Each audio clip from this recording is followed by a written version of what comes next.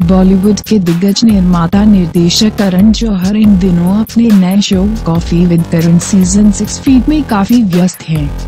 करण आए दिन इस शो की खबरों को लेकर सुर्खियों में बने रहते हैं। हाल ही में करण के इस शो पर दीपिका पादुकोण और आलिया भट्ट ने साथ में एंट्री ली थी। करण ने दीपिका के साथ अपनी इस खास मुलाकात का वीडियो अपने सोशल मीडिया अकाउंट पर भी साझा किया था।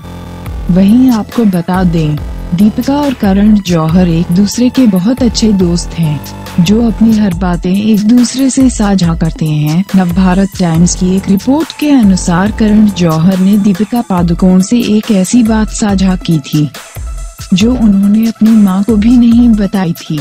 जी हाँ, हाल ही में ये खबर सामने आई है कि करण ने अपने दोनों बच्चों यश और रिही के बारे में सबसे पहले दीपिका को फ़ोन कर जानकारी दी थी।